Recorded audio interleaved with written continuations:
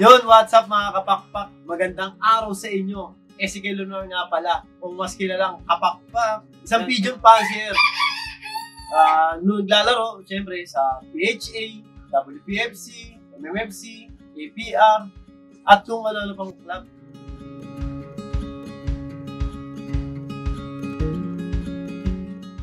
Bali, nagsimula ako sa pag-ibig Bata pa lang ako, pero hindi pa ako kumakarera. Uh, may pumasok. Tapos, syempre, nag-aaral tayo. Uh, tumigil muna ako mag-alaga.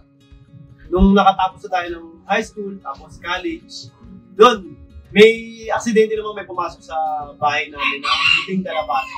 So, yun, doon talaga nagsimula, nung may pumasok na puting kalapati nag ano kami na na ano nito parang nabalik nabalik yung pagiging ano uh, pigeon enthusiast uh, so nagalaga ako. Uh, namili ako sa ranking uh, doon nagsimula gumawa ako ng maliit na kulungan.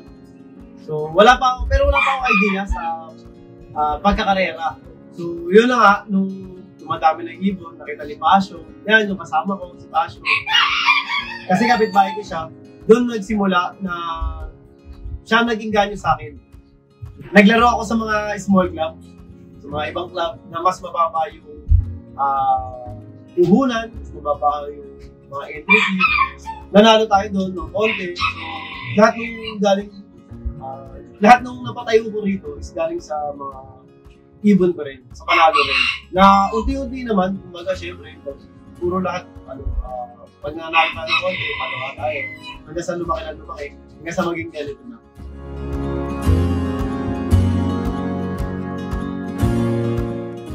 Uh, regarding naman sa mga achievements natin, isa sa mga nagpakilala sa atin, uh, ayan, naging third place tayo ng MacArthur National Race. Ayan, isa sa mga prestige na nilalaroan ng bawat uh, page ng bawat pigeon fancier o bawat kumakarera.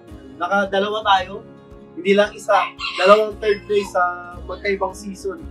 So, isang second MacArthur National National Race, saka ang fifth National P, ano, 5th PHA National MacArthur Race yan. Naging third place na tayo.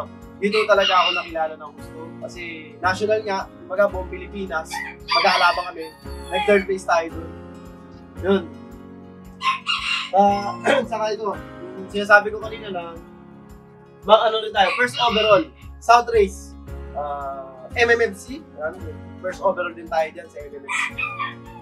So, South, uh, South Race naman yun. Tapos ito naman is yung isa sa mga, ito, dalawang, yung dalawang trophy na to, isang ibon lang kami uh, nakakuha nito, isang ibon. Bali, nag-first overall siya sa APR ng Summer Race, solo. Solo to, solo uh, super set winner. Uh, dito na pili si Passion ng ano eh, ng motor.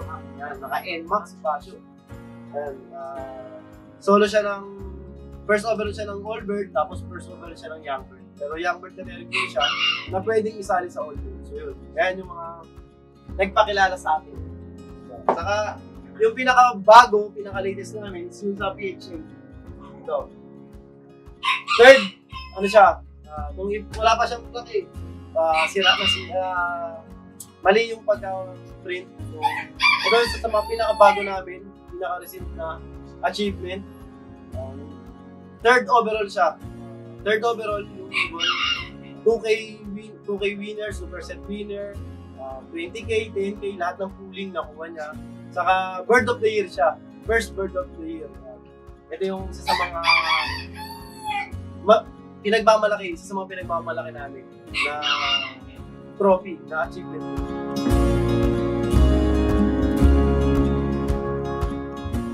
Uh, pag sinabing PHA member ka, medyo iba, iba tingin na sa'yo kasi uh, magastos. So, magastos talaga. Kaya ako naman, ang may, negosyo naman kami, may maliit na negosyo kami, uh, bakery.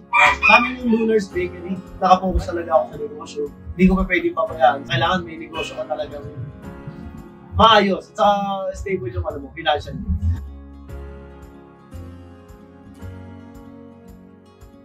Uh, ang mga payo ko sa mga newbie, yan, lalo sa mga newbie, sa mga gusto pumasok sa pangarera ng pagkakalapati, uh, kailangan ano eh, uh, establish yung ano mo, may financial support ka.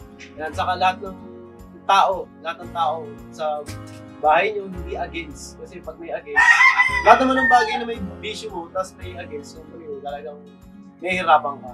Yun, so, kasi ito, magastos talaga. Magastos din yung pag-iipon.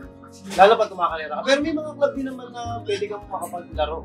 Mapaglaro ng mas mababa sa mas mababang ano, uh, mas kumaga sa mga small club, nagbibigay sila ng mababang entry fee.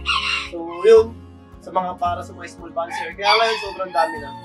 Yun, yun lang naman yung masishare ko sa ano. Saka pag sila ng mga ibon, yan, sa mga newbie rin, syempre, kumuha sila o bumili sa mga fancier na uh, legit, hindi yung kung saan saan lang, syempre, na ayaw rin natin na, ano, isa ako sa mga nag-ano na wag bumili sa mga lambat, sa mga tungkol, sa lalo sa mga probinsya. So, mas maganda sa mga uh, legit na fancier, sa mga veterano na nag Magiging kaibigan mo pa.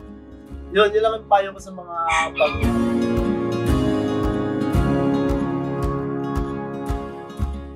Yun, regarding naman sa conditioning ng barko na sa ibon, siyempre, kailangan masipag ka. Sa pag-ibon, di pa pwede yung mababa ang ano, eh, porsyento ng luck. Sobrang, kasama siya sa swerte, siyempre, kailangan may swerte ka. Pero napaka, kailangan talaga, siyempre, sisipagan mo, palipad, umaga, tanghali, hapon, tapos ganyan din. Bawat palipad, siyempre, kailangan kain.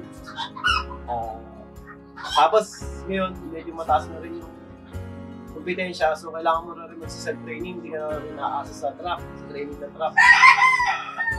Yun, ganun, ganun lang. Tapos, mga multivitamins, mga performance enhancer, nabibigay ko tayo.